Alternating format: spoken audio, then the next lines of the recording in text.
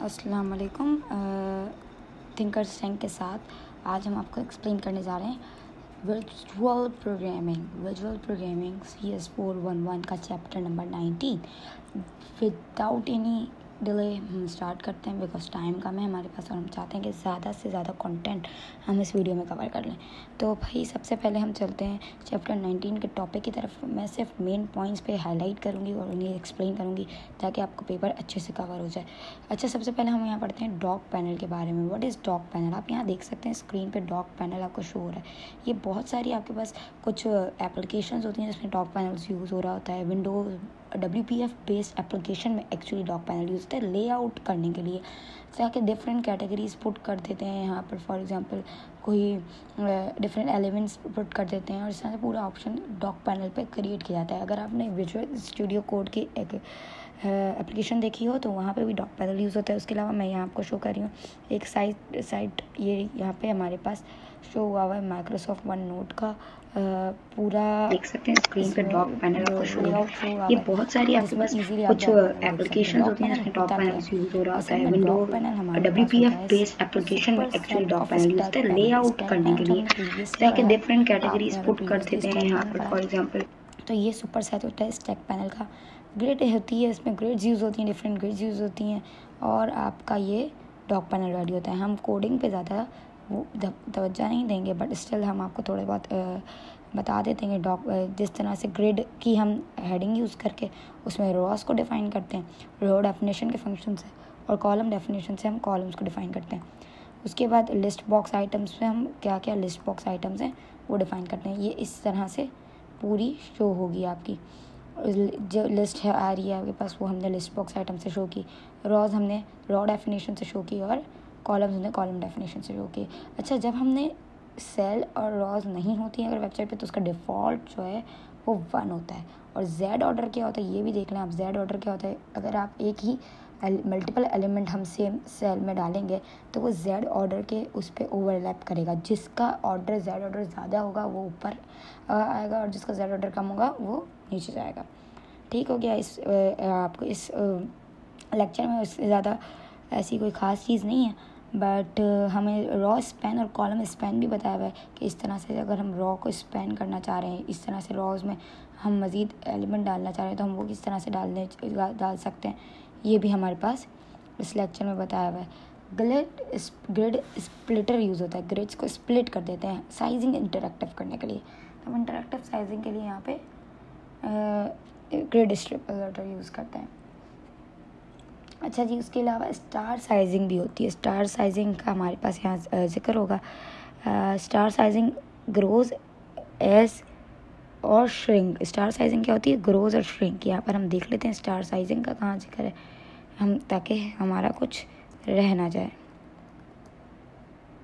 Star sizing जी, यहाँ हमारे पास इस लेक्चर में स्टार साइजिंग का यहाँ ज़िक्र है, इसको आप हाईलाइट कर लेते हैं।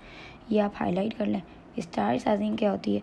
स्टार साइजिंग ग्रो या श्रिंक करते करते हैं अगर हमारी रॉज या कॉलम्स उसे स्टार साइजिंग करते हैं। ऑटो साइजिंग होता है साइज़ टू कंटेंट जितना कंटेंट है, उस हिसाब से साइज़ खुद ब खुद सेट हो जाएगा। ये हो गया। उसके अलावा हमारा कुछ मिस नहीं होना चाहिए।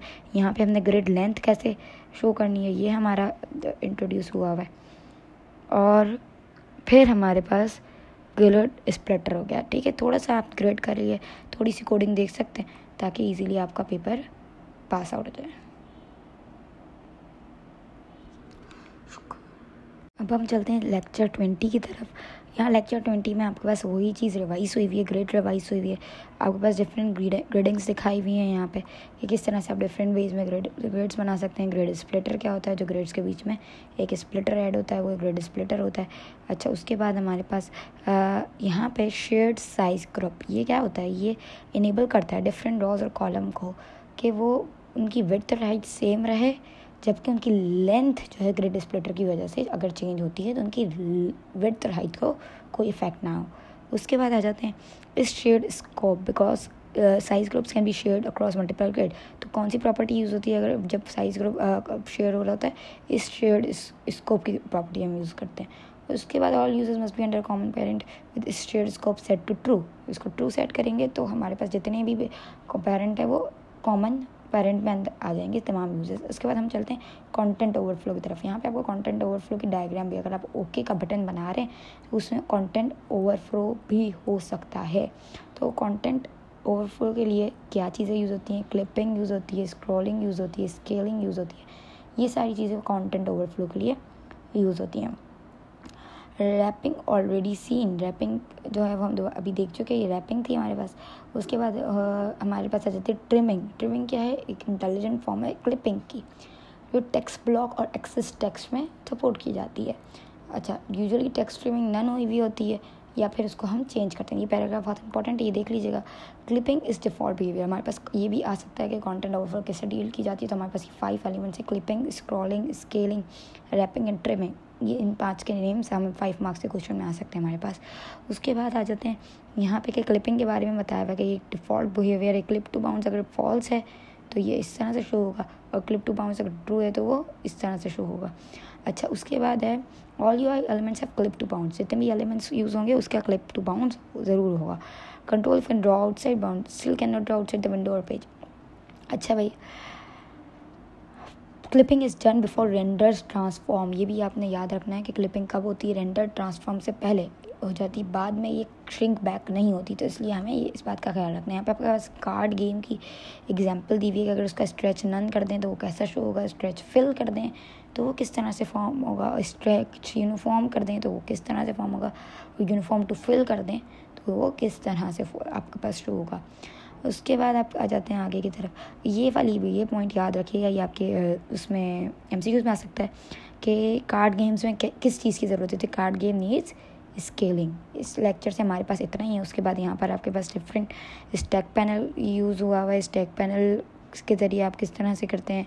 विजुअल स्टीरियो के से हमने ये इंटरफेस बना बनाना आपको सिखाया गया कि हम किस तरह से इंटरफेस बना सकते हैं। पूरी इसकी सारी screen shots attach it that's for the, the lecture 20 अब आ गए हम लेक्चर ट्वेंटी वन की तरफ़। इसमें आपके पास ग्रिड्स को मज़ीद जो है वो एक्सप्लेन किया गया है कि अगर ग्रिड अगर हमें किसी चीज़ को लेयर्स में अटैच करना है तो उस लेआउट के लिए ग्रिड जो है सबसे बेटर आइडिया है। और हम इसमें अगर ओवरलैपिंग होगी तो जेड ऑर्डर यहाँ पर दोबारा आ गया कि जेड ऑर्डर इसको आपके पास इस ओवरलैपिंग को डील करेगा। और वो लेयर वन और लेयर टू के बीच में अनलॉक कर देगा एलिमेंट्स को। ठीक है, यहाँ पे जेड ऑर्डर का ज़िक्र है। उसके बाद दोबारा चलते हैं। हम आगे यहाँ पे कोडिंग है, इस पूरे लेयर्स के लिए जो कि जिसको हम इग्नोर कर देंगे। फॉर नाउ हम कोडिंग के ऊपर इतना ध्यान नहीं दे रहे। अच्छा जी बेसिक हमें कोडिंग पता होनी चाहिए, जिसके लिए मैं आपको प्रॉपर एक अलग वीडियो बना दूँगी। बट फ़िलहाल फाइनल्स क्योंकि हमारे चल रहे हैं तो हम ये कोडिंग को छोड़ देते हैं। अच्छा अब यहाँ आ जाएँ इवेंट्स की तरफ़। इवेंट्स क्या होते हैं? रूटेड इवेंट्स क्या होते हैं? बेसिकली रूटेड इवेंट्स ये होते हैं कि आपके पास डिफरेंट हैंडल्स है हैंडलिंग करना है कीबोर्ड में माउस है स्टाइलस यूज़ हो रहा है तो उसे हैंडल कैसे करना है, वो रूटेड इवेंट प्रॉपर्टी होती है। अब रूटेड इवेंट में इनपुट इवेंट्स आ जाते हैं, जैसे कि keyboard mouse stylus multi touch हम इसको डिस्कस करेंगे। ये वो इवेंट्स होते हैं जो लॉजिकल ट्री में अप और डाउन ट्रैवल कर सकते हैं। उसके अलावा हमारे पास इसमें डिपेंडेंसी प्रॉपर्टी का कॉन्सेप्ट यूज़ होता है और हम इस तरह से इसको डील करते हैं। तो ये वाला पैराग्राफ बहुत इंपॉर्टेंट है एग्जामिनेशन पॉइंट ऑफ़ व्यू से, क्योंकि ये इवेंट्स बता रहा है। अगर बटन है, उसे क्लिक करना है तो क्या होगा? ये सारे इवेंट्स उस पर इंट्रोड्यूस करवा रहा है। अच्छा भाई, अब हमारे पास एक नेक्स्ट हम चलते हैं। इस ही उसमें रूटेड स्ट्रेटजीज़ कौन कौन सी होती है? जैसे टन टनलिंग पहले हमारे पास डिस्कस हुई है। इसको भी हम हाईलाइट कर लेते हैं कि फ्यूचर में हमारे ये यूज़ टू होगा। हमें एग्ज़ाम पॉइंट ऑफ़ व्यू से इंपॉर्टेंट है ये तो हम इससे भी हाईलाइट कर लेते हैं। अच्छा जी, यहाँ पे आया हुआ है कि रूटिंग स्ट्रेटजीज़ कौन कौन सी इंक्लूड होती है? टनलिंग है, जो रूट डाउन टू सोर्स तक के लिए हैंडल करती है मार्क को। इसी तरह बबलिंग है तो हमें टनलिंग भी पता होना चाहिए बबलिंग भी पता होनी चाहिए। वो सोर्स टू रूट ट्रैवल करती है। वो इवेंट्स जो सोर्स टू रूट ट्रैवल करवा रही है, वो बबलिंग है ये याद रखना है। और उसके बाद तीसरी है हमारे पास डायरेक्ट तो ये रूटिंग स्ट्रेटेजी हमारे थ्री मार्क्स क्वेश्चन के लिए बहुत इंपॉर्टेंट है। डायरेक्ट बबलिंग और टनलिंग ये तीनों चीज़ें हमारे पास इंपॉर्टेंट है। ठीक हो गया? ये याद रखना है। बबलिंग दोबारा मैं रिपीट कर रही हूँ। बबलिंग ओके सॉरी बबलिंग उसके बाद डायरेक्ट और हमारे पास तीसरा है टनलिंग अच्छा भाई, अब हैंडलर्स कौन से होते हैं इवेंट रूटेड इवेंट्स के लिए? वो है, उसके सिप सिस्टम ऑब्जेक्ट पैरामीटर्स है. Sender to which handler was attach उसके पास कुछ पैरामीटर्स हैं सिस्टम ऑब्जेक्ट के, जो हैंडल हैंडल करते हैं रूटेड इवेंट्स को. उसके बाद हम चलते हैं नेक्स्ट पॉइंट ऑफ़ व्यू से माउस कीबोर्ड और माउस और कीबोर्ड के जो इवेंट्स हैं, वो बबलिंग पे बेस करते हैं। मोस्ट आर बबलिंग इवेंट्स यहाँ लिखा हुआ है देर आर मैनी की board mouse multi touch and style events most are bubbling events but many have a tunneling counter part तो ये क्वेश्चन भी आपके पास आ सकता है। एग्ज़ाम पॉइंट ऑफ़ व्यू से कि कौन से इवेंट्स होते हैं माउस और कीबोर्ड के तो मोस्टली कौन से इवेंट्स होते हैं तो वो बबलिंग इवेंट होता है। उसके बाद बबलिंग इवेंट दोबारा मैं आपको एक बार बता दूँ बबलिंग इवेंट वो है जो सोर्स टू रूट और मार्क हैंडल तक की स्ट्रेटेजी रूटिंग की होती है दैट इज़ बबलिंग इवेंट ठीक हो गया? अब उसके बाद हम नेक्स्ट चलते हैं। हमारे पास पॉइंट ऑफ़ व्यू क्या हो रहा है? बाय कन्वेंशन की बात होगी हमारे पास यहाँ पे।